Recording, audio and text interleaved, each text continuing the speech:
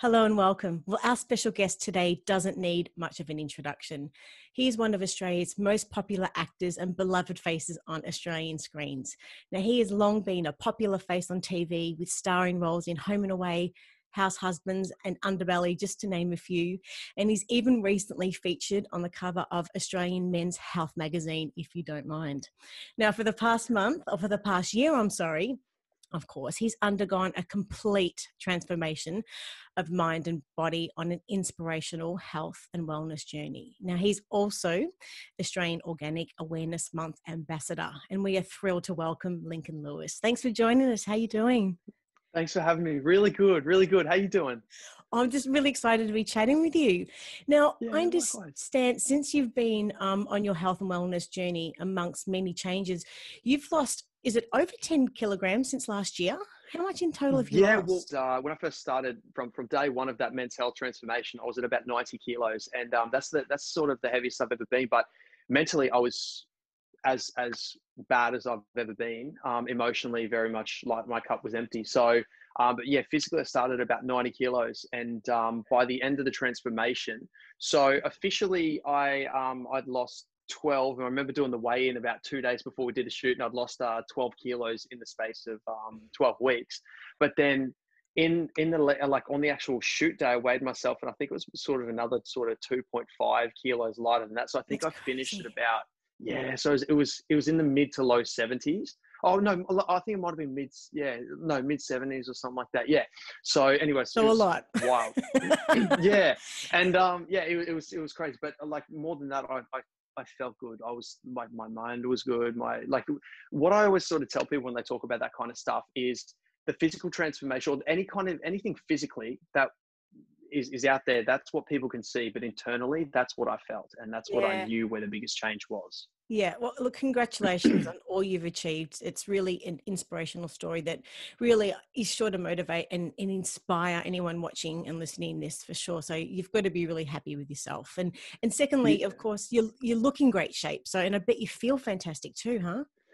Yeah, absolutely. And and that was the thing that um that I've I've changed the most is just eh, like lifestyle is is not just one thing. It's not just sort of okay make this this one different thing i'm going to do every day. It's it's a constant thing. It's like going to the gym. You need to continuously keep working on yourself and and your, your thoughts the way you the way you approach every single habit. Because for me the habits were the hardest thing to change. And so once i put those things in place that was that was a cool thing. So how i'm how i'm eating is a lot better. I'm eating a lot more um, a, a, lot healthier, a lot less processed shit. Mind you, I still do treat myself, but um, you can have a um, balance. I, yeah, exactly right. We're all human. Yeah.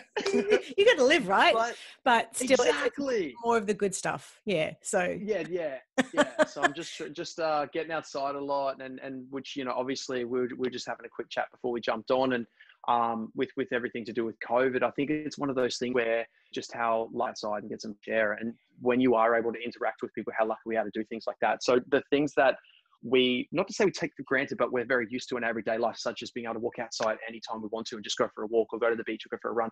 A lot of that had, has had to be scaled back. And so when we do get that opportunity, it's like just take every second you can and make it all count A hundred percent. And you've got a busy few weeks coming up too, don't you, with Australian Organic Awareness Month uh, in September as this year's yes. ambassador, which is exciting. So, can you tell us a little bit about that? That'd be great. Yeah, yeah. So, um, I was I was really very fortunate that um, Australian Organics approached uh, me and, and, asked me to be their ambassador. So, um, yeah, in, in the lead up, we've been doing a lot of filming and be going to a lot of organic producers, and uh, that we're all we're going to be putting out through the span of September, which is Australian Organic Awareness Month. Now, the reason that we're doing this, or that that Australian Organics have have created Organic Awareness Month, is because Australia is the only developed country in the world that doesn't have a governing body about the use of the word organic. Yeah. So basically to break that down, if you were to go into a shop and you see a lot of packaging, because a lot of people are really in this in this mindset, you can probably hear my dog in the background, little poodle barking around. Um, you you probably see a lot of packages which says organic, and that is fantastic because a lot of people want to look after themselves and and whatnot. But we don't have a regulating body surrounding the use of the term organic. So if you go to the shops and you see the Bud logo, which like the, a certification logo, that means it has met the standard required to use the term organic. But if it's anything other than that, it, you, you can't be certain of what percentage is actually organic. You could actually have a very low percentage of organic products, and the rest is is the, the very you know the normal kind of stuff, which mind you isn't like putting toxic toxic in your body. But in the instance of wanting to look after yourself, supporting the local producers and manufacturers, which have done the hard work to make sure that they are giving the organic product or meeting the standard of what is organic, that's what you want to really be looking for. So that's what we're going to be putting out is to look for the certified logo and also to just talk about the progress that I we're, we're, fingers across, hopefully either by this year or next year, um, we will have a regulating body surrounding the use of the term organic. But yeah, whether it's whether it's that food, cosmetics, because not only what we're putting in our in our bodies, but also what we're putting on our bodies. It's um, yeah, when you want to look after yourself, it, you know, you want to make sure you're doing it right. So that oh, yeah. is that is the whole point around doing Australian Organic Awareness Month. Awesome. And I've, I've got a heap of stuff I want to ask you about that later on in the chat. But I wanted to talk a little bit more about, I guess, the change and everything that you went through. Um, and, and in saying that, I guess when someone embarks on such a, like a monumental change in their life, there has to be, I guess, an internal shift that takes place towards, you know, positivity for both their mind and their body. So I'd love to know initially, you know, how challenging was it for you to make that initial sort of shift in general? Um, yeah, look, I, I, I think it's just like anything, getting started is the hardest part. Um, yeah, you know, if you say if you say if you say you're going to go to the gym, it's just it's getting up and getting out the front door, like yeah, or going for a run. It's just getting your stuff and getting going. And once you once you get that momentum, it's you know you, you can gradually build on that. But so when it comes to something like you know your mental and emotional state, that's that's also hard to get moving because your physical state has been neglected for so long. Like nothing nothing is a singularity. Everything everything is connected. So yeah, um, when your mind isn't right, your motivation is is not not any good, and that's going to sort mindset. of totally the the mind is the most important thing, and I know we put a lot of emphasis on everything we see these days on the exterior. So like a you know whether it's how you how you how we look, how our hair is, and how our body looks, and all these kinds of things. But if your mind isn't right, nothing's going to work. Like um, yeah it's the most important thing I couldn't agree with you anymore. And I guess, you know, with everything that's been going through, the stress of COVID has really led to many people living, I guess, totally. unhealthier lifestyles than, than than what they're just generally used to. You know, subconsciously, I think choosing to eat comfort eating and processed junk oh. food that has that, you know, the initial feel good factor and pick me up. Um, however, in the end, of course, it increase, it just increases the amount of acid in our bodies and it just leads to long term poorer health and a bit of a downward yeah. spiral, which people probably don't even realize that they're they're on on as well. Um, so I just love to know, you know, what are some of the surefire signs that someone would feel if they were on that unhealthy spiral um, that they maybe haven't sort of uh, noticed that they're on? And what would be i guess your advice for the first step? Um, you know what can you suggest that they they do initially just to make that positive change as you were just saying? What yeah yeah. well i think first and foremost you're absolutely right. Like a lot like the the um, even just seeing the statistics of the suicide rate that's that's went up since the start of covid. So a lot of different people in a lot of different areas that have been in lockdown stuff like that it's been affecting a lot of people. So um, for anyone watching um, you know if just you know for you for yourself for anyone around you like it's it's you're not going through anything alone. Um, and and you do notice uh, a difference. And and the thing is is like the fact that our routine our life routine has been so so dramatically halted it's you know everything you know you can't go out you can't sort of socialize and we're we're a socially interactive species you know we we we like to be around people we like to yeah. communicate we like to you know whether it's touch whether it's talk whether it's just be around whatever it may be um, we that routine is being stopped and and then on top of that a lot of people can't exercise which for me is a lot of my outlet. And um, like talking interacting and exercises are my outlets. So when those things are getting stopped you already feel out of routine. But then you're working from home. Your home is your place of peace and relaxation and you get to eat and enjoy after a hard day's work. So there a lot for a lot of people your home is now your office. So you're having to restructure what is your your your energy space. So it's it's actually quite easy to be in that time to be comfort eating and stuff like that because that's what that's what your time back at home is is to chill out. Mm-hmm. so you're then having to not only deal with your routine being stopped but you're having to readjust your routine while kind of figuring as you go. So for anyone yeah like you know don't beat yourself up and i think that's that's a big sort of thing i want to stress is like for a lot of people don't sort of you know a it's lot of people difficult time it's difficult for, for, for everyone. So yeah, so you know, just just sort of, I think the first step to anything is acknowledging the space that you're in. Yeah. Um, and and for uh, like from my own experiences, which you know I'm I, like um, that's that's all I have to draw on is is you know for advice to give is that when you're in a space, it's um it is quite hard to pull yourself out of it because again mentally can be one thing but then it links to your emotional motivational side which then can also connect to your physical side because you'll be eating to try and give yourself that little bit of a perk up.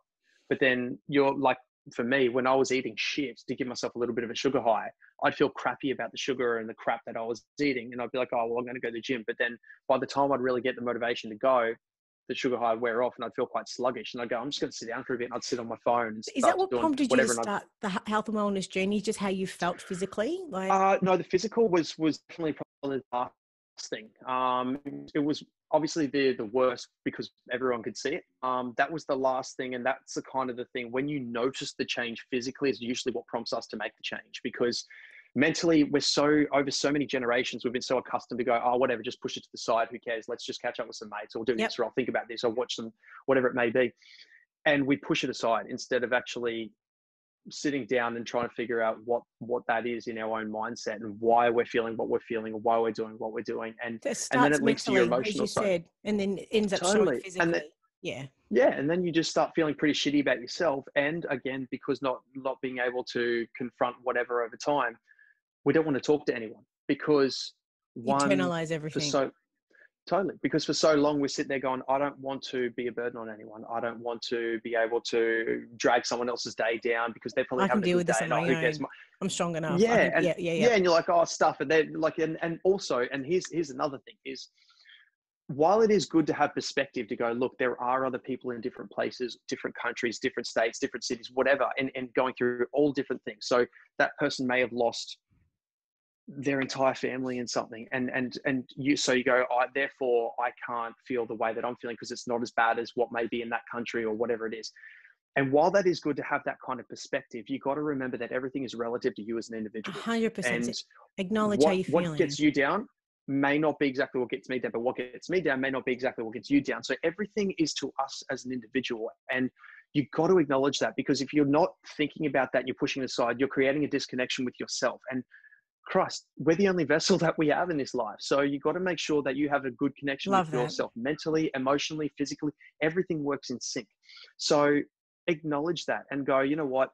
I do. It is good to keep that perspective, but also feel what you need to feel. And that way you can start to realize, okay, that's how I'm going to get past it. So that when it happens next time, you know the tools or you've been there before and you can start moving forward at a quicker pace. And I guarantee you, it doesn't, it's not to say it gets easier, but when you have the tools it it it, it sort of quickens that that progress. So yeah, I, and, and when I back to when you were talking about um, why in, in every aspect. So mentally, I was I was going emotionally, I was gone. physically, I was I was in no good shape at all. But as soon as I stepped out of my bedroom door, I'd always be smiling. Like I'd always be trying to put on that thing because I'm a very sort of jumpy kind of person naturally anyway. Like I don't even drink coffee or anything, but I'm just very energetic. Oh, and couldn't imagine you so if coffee. I'm never, I'd explode. no, you would. Holy crap. and now, so, so, so you went through the low point. It was in 2019. Um, but I get, look, overall, I get, it just takes a lot of courage to overcome adversity, especially when it comes to overcome, overcoming stuff like depression. And so, what were the first signs that you weren't feeling right? And so, what did you do then to help improve just your mental well being? Was it changing your diet? Was it exercising more? Was it just that, that the well, physical changes that you started to, to make? Yeah, so 2019, like, um, was was kind of the time when uh, so early last year was when I actually did something about it, and what I realized was probably easily a year earlier than that. Um, it it was just something I never told anyone. Um, you just went through it on your own. It. Yeah, and and and it's just one of those things again that everyone will most likely do. That will always try and just not say anything. and and as an individual, you know when your routine's a bit off. You know it's like we can have a bad day or a bad week. That's fine but when you realize that it's a consistent pattern happening with everything that you do, you know that something needs to be sort of thought out and addressed. And again, getting started is the hardest thing. So, yes. and and it took me a long time to get to get started with, and, and it just sort of happened by chance, which now has led into me completely shifting the way I approach these things. And that was when we had a boys' weekend. So there was myself, men's health editor Scotty Henderson, um, my mate Scott Tweedie, who who was host of a show called The Loop at the time, which is just a morning music video yep. show, but now he's in the states. Um, uh, Matty J, who used to be one of the Bachelor Boys, and um, a fellow called Johnny McMahon, who heads up a, a, a, social media group called Boss Hunting. And anyway, so the five of us, we, we did a, uh, an appearance at the, the golf that weekend and then just spent the day and the night chilling out at the Goldie, went and had a big feed that night and all just shot shit for a while. And anyway, I was sitting next to Scotty and we were talking away and and, and it's one of those things where you don't you you open up but only very joking or where i opened up only very jokingly. I would approach it just through humor because that's that's sometimes my coping mechanism with with things but i, I like to take a shitty joke anyway. But um i said something uh regarding just my weight. And and scotty was like oh mate you're all right. And, and you know was, all these dudes were hell fit. And so i was just like no nah, mate like you know i made some sort of a joke about it and then he kind of opened up this channel and he asked me about it later on. And he's just like, so, so you kind of were giving the releasing of, of the vessel, dinner. isn't it? Just taking a little bit of the pressure out, type of thing. Yeah, sometimes we can. Yeah, sometimes we can address our little elephant in the room through our own methods, and for me, that's that's through a bit of self-deprecating humor, like putting, not really putting yourself down, but making a joke about it, so that you're like, I've addressed it, whatever, ha ha ha, joke, move on. But um, and then Scotty later on when we were having a bit of a chat about motivation, what it like, what what inspires us, what our goals are, what our aspirations are, who motivates us, all that kind of stuff. We talk about everything like that. And then uh, and I said to him that I'd only just recently watched the Creed uh, sequel movie, which is uh, mm-hmm. the, yep. the, the, boxing. The boxing. Movie. Yep. I, yeah, and and I said oh, I just watched that sequel in the cinemas uh, like a couple of weeks earlier. I said, dude, that's the first time I, I as soon as I left, that I went straight to the gym. So that's the first time I really just went to the gym properly in ages. And he's like, oh, really? Yeah, okay. I said, yeah, man, I just just really can't be bothered doing anything lately. And he's just like, so so why is that? You said, yeah, like you you seem like a few things are this and that. And, and over the next half an hour, we started really opening up. And then he just listened. He didn't he didn't just sort of hear me and not listen to me which sometimes can we can we can have the people it's like you're hearing me but are you really listening to me? Mm-hmm. and and he was listening and he was genuinely interested and um and we started talking about everything and um and then just through chance he just sort of I, like i talked about michael b. Jordan being a real inspiration because oh he was one of our cover boys. And i just like i know i saw that article and he just goes dude so he do he got in sick shape for that and um, and he just said, mate, we should get you on the cover one day. And I said, oh, mate, you know, this love it. So you had a goal, get, so you had something to mm. work towards, like you said. Yeah, this was a by chance thing. So yeah, and then he just, and, and that was one of those things where he just said, if you ever get in shape, we'll chuck you on the cover. And I said, mate, I tell you what, like if if uh, if we ever put a plan in place to do a complete overhaul, you got yourself a deal. And he just goes, we actually haven't done a transformation issue in a while. Would you actually be down for that? And I said, yeah, and he goes, dude, it's not easy. Don't get me wrong. This is like literally putting the brakes on on the highway, doing U-bolt and speeding down the other way. This is completely like a 180. But if you, anyway, long story short, just said, yeah, you know what, let's do Congratulations, it. though. The transformation yeah. is, but it's not just a transformation in the physical, it's of, of the mental as well. It's but, complete. Yeah. Like to put it into a thing, I, I wanted to rebuild myself as a human being because I, mm-hmm. I had nothing to offer myself, let alone anyone else for, for a, a period of time now. I was just, I was existing, but I wasn't living.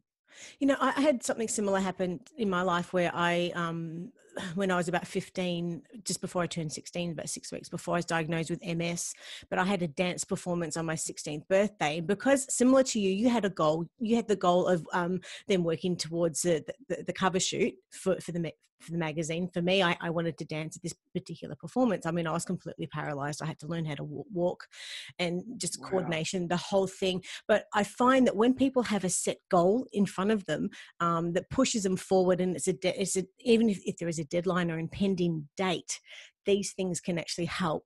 Um, but it's, it's, it's really um, really important what you were just saying that at the right time that you felt um, comfortable speaking to a confided friend just in a one, one-in-one conversation and that you felt heard. That's the most important thing. Also that they that they were genuinely really wanting to listen um, and to be able to help. And not necessarily by chance because it was like your subconscious it was just like you know I, I, am I, I want to sort of move forward from this this situation I'm in.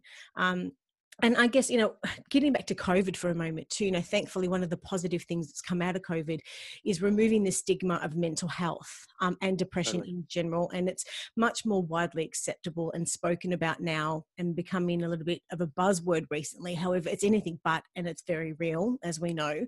So, just really briefly, I mean, how for anyone watching and listening that may, may be in a sort of darker place at the moment due to the struggles and the challenges of COVID, how would you best describe, um, I guess, what you sort of feel when you're sort of suffering with depression?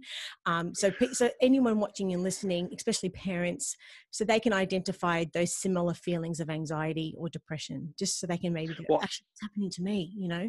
Yeah. Okay. Well, uh, so firstly, like you know, um, yeah, I'm uh, like not being anything qualified to be able to diagnose anyone, but, but, but, but real life um, experience. Every, every, yeah, no, absolutely. So, um, every everything is going to be unique to you as an individual and you will notice when you're off routine. You'll notice when you're feeling off or things aren't flowing that the way that you're used to them flowing um, thinking the way that you used to think or just your general spark in life is feeling quite dim or some people may just feel that their spark is completely extinguished. And um, you, you know that within yourself. Like we do know when something's wrong. Our intuition, our gut is very rarely wrong. Um, whether you're interacting with someone, you go, something's, my gut's telling me something about that person or yourself, you know when something's off. And it's, it's, it's up to us as an individual to go, I, I like finding that way to be in tune with yourself can just take a little extra time because we're so used to just going through the motions these days of life is so crazy that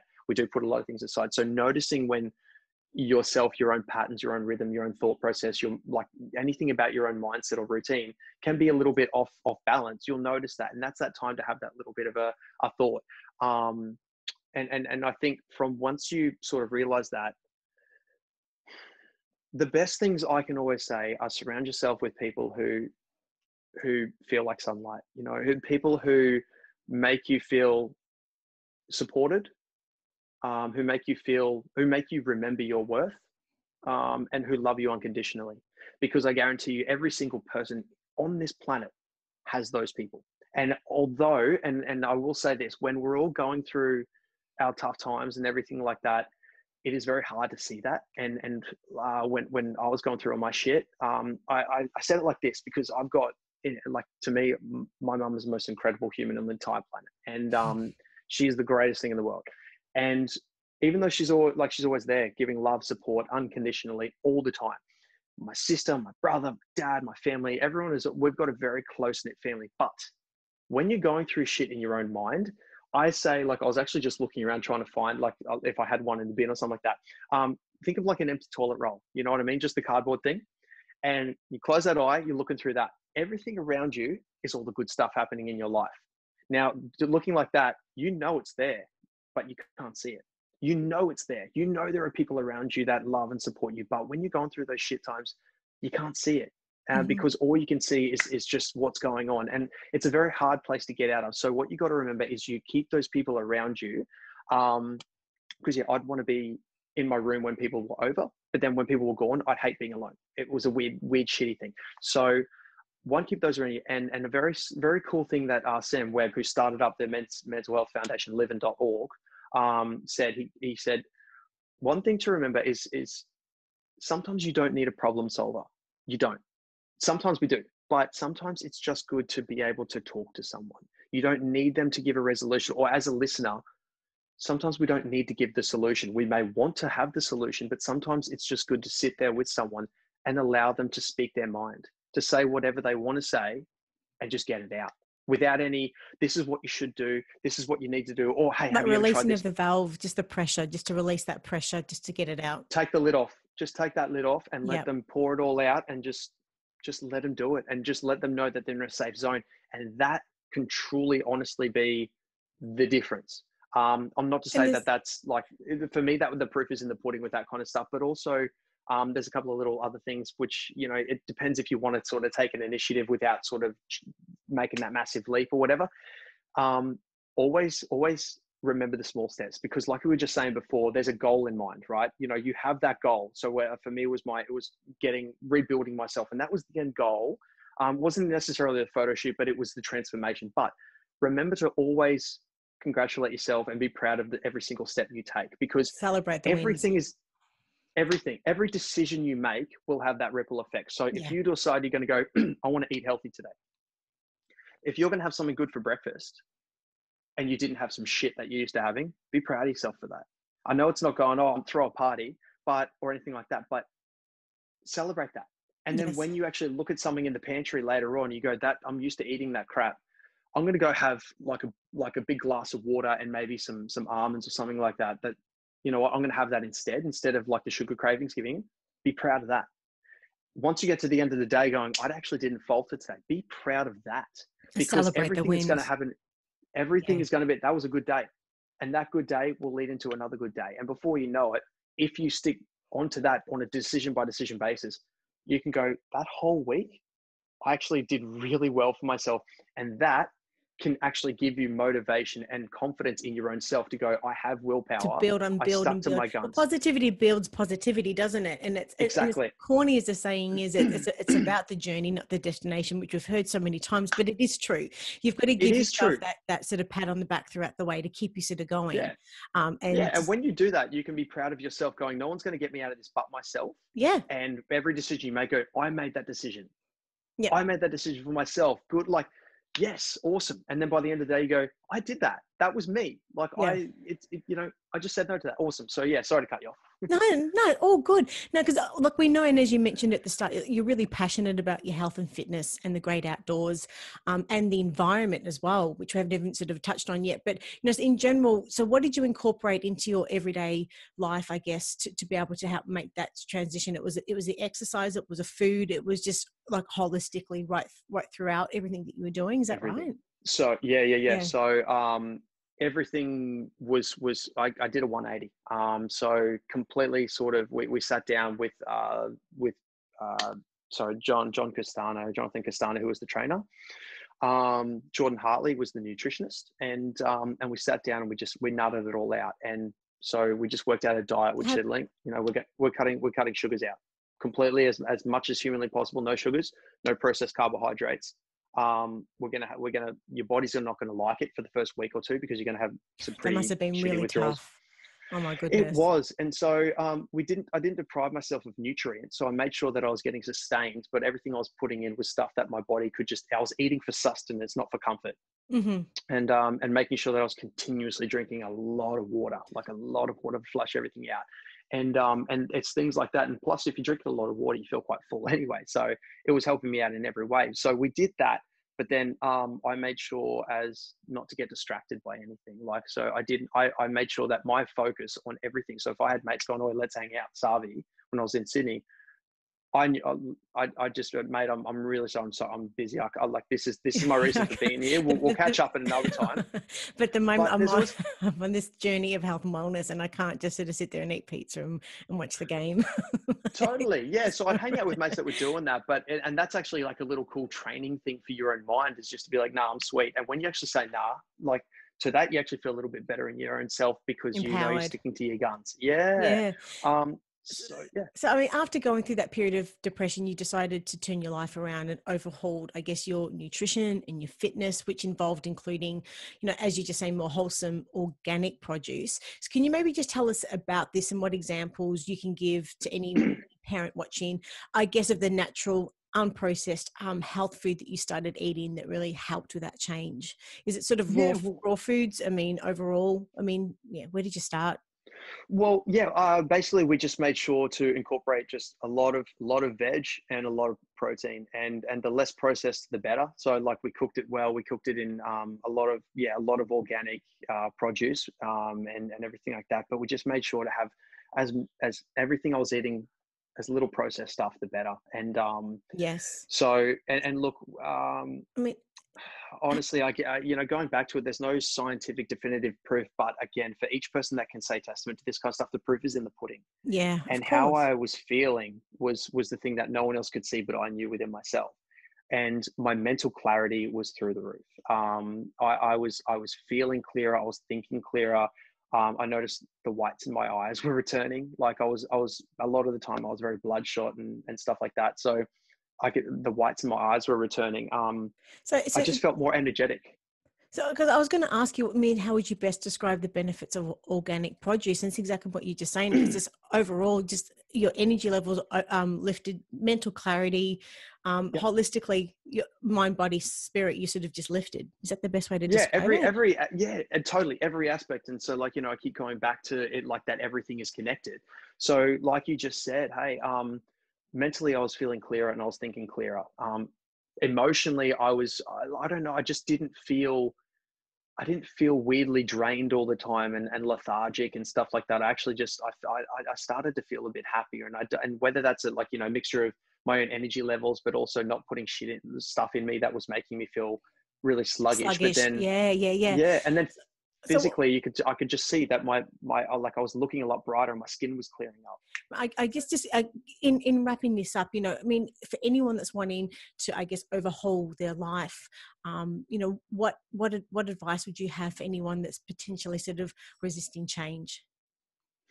Yeah um well i think first you know you need to to it all comes down to you as an individual. So like yeah, for resisting change, that's that's a that's a cool that's a cool one because yeah, for the longest time, uh, you know, I I did that and um because you kind of can brush it off and stuff like that. And I think the thing to keep in mind, okay, um, a couple of little things just always to keep in mind is I can't. I've said it before, but I can't stress enough the importance of having a support group around you. That's that's most important. Just uh, first and foremost with anything in life, just always have a, a good group of people around you. Um, but when it comes to you as as you know an individual, um, what do they say? Um, the the journey of a thousand miles begins with a single step. Um, and and remember that it's just that first step. You don't need to look at the top of the mountain to go, crap, that's where I need to be. Um, just look at the first step if you one day just decide, hey, I'm I'm going to go buy some broccoli to add on my dinner tonight, that's great. Good on you. Um, if you all of a sudden go, I had one less chocolate bar today because I want to just kind of cut back, good on you. Like we, you need to remember that you don't need to go cold turkey overnight. And if you want to make a change, fantastic. Like every single day, try and just try and do something better that your that your future self will thank you for and um, acknowledge and everything the, that we challenges we're going through at the moment too, as you mentioned. Absolutely. It is a difficult time already. Yeah. It is. It is. So you know, we got to like think of everything that we do now is going to have a future impact on us later. And so you know, with all like just for all the organic stuff, they're doing stuff that's not only going to be good for all the consumers, but ultimately for the sustainability of the land in general. Um, and so everything that we do, just you know, do something that your future self is going to thank you for, but make your day by making someone else's day. That's a really cool. Uh, that's one of my favorite quotes. And and have you ever noticed if you walk past someone you never met them before, you never will see them again, but you just make eye contact, you smile, nod, something inside you makes you want to smile. Or if you're at a shop and someone wishes you a good day, thank you, you too. It's just something. There's all these little things that I love to just kind of think about in my days or whatever, which is just do something that will make you smile try and do even one little good thing for yourself each and every day and that can lead on because routine is the hardest thing to get out of but can be so easy to fall into. So if you're going to set yourself a routine make it a good one because getting out of a, a bad routine is such a hard mugger of a thing to do.